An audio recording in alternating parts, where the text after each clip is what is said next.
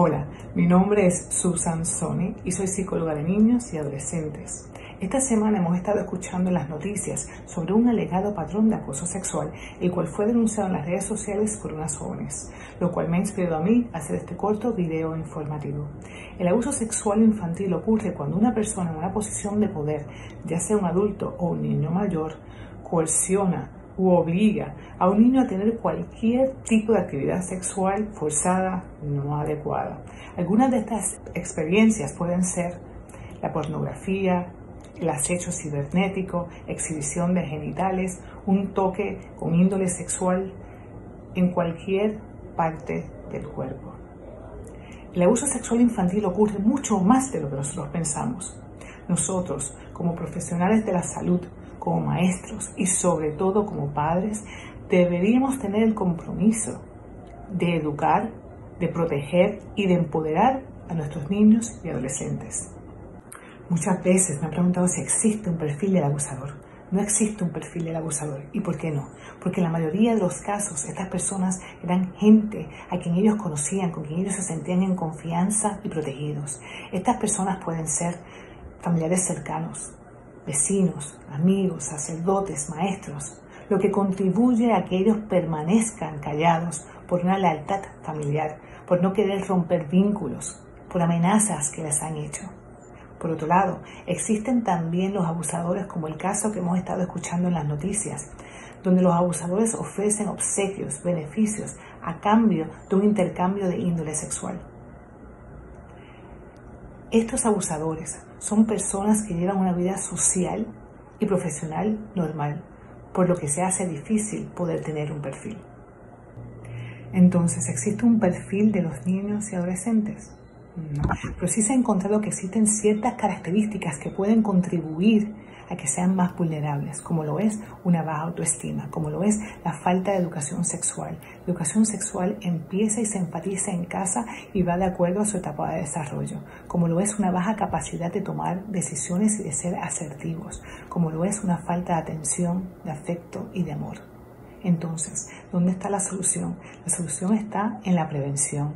Y la prevención se logra a través de la educación. Y la educación empieza por nosotros, los adultos, para que podamos entonces instruir a los niños y adolescentes. Tenemos que reconocer cuáles son estas señales de que han sido víctimas de un abuso sexual. Estas señales son cambios tanto físicos, emocionales como conductuales. Algunos de estos indicadores son dolor al caminar o al sentarse, inflamación, enfermedades venéreas, un trastorno de identidad sexual, un lavado excesivo de manos, un cambio en su conducta donde duermen más o duermen menos, donde comen más o comen menos, una falta de concentración, el no querer ir a una casa donde antes iban, miedos, pesadillas, entre otras cosas.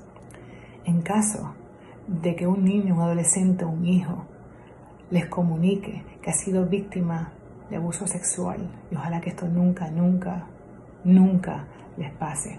Tenemos que mantener la calma, tenemos que mantener nuestras emociones fluyendo. Tenemos que mantener esos canales de comunicación abiertos y escuchar sin juicio. No podemos agobiarlos con preguntas ni ser repetitivos. Podemos preguntarle qué pasó, dónde, con quién, cuándo, pero no por qué.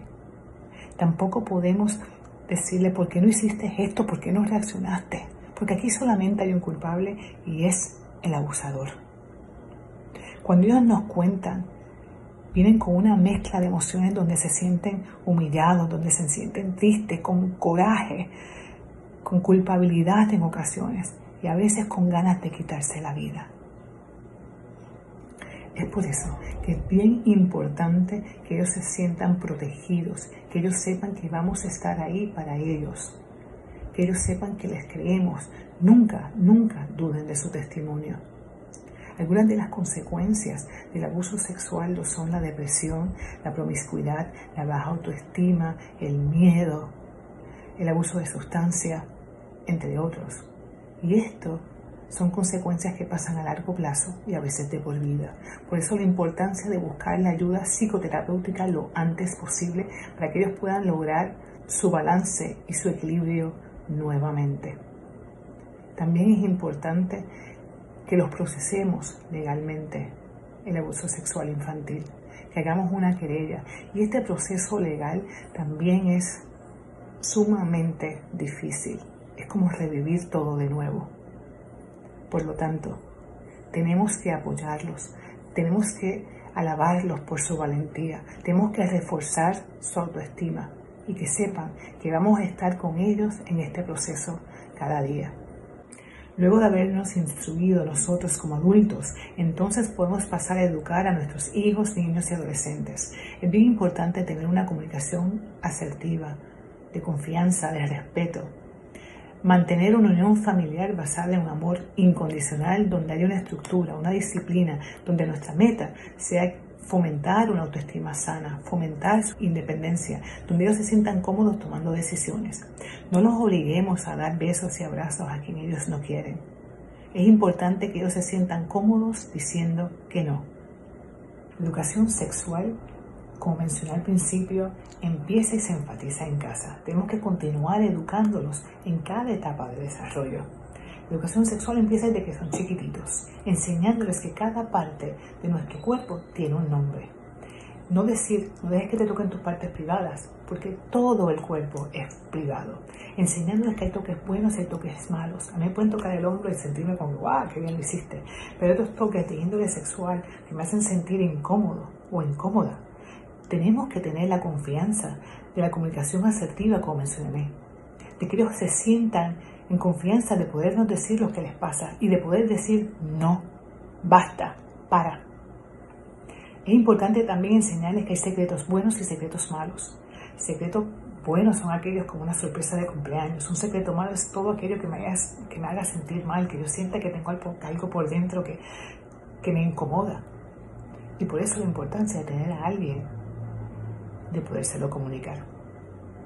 Tenemos que enseñarles también que el ciberacoso, lo que está pasando en las redes, es algo que debemos de estar bien conscientes como padres.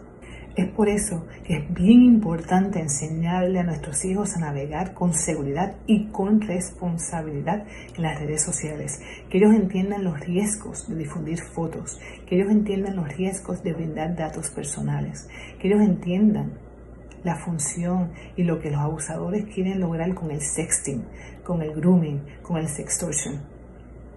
Tenemos que continuar educándonos para poder ser parte de la solución, para poder decir no más al abuso sexual infantil. Seamos un faro en la tempestad. Gracias por escuchar y gracias por estar aquí.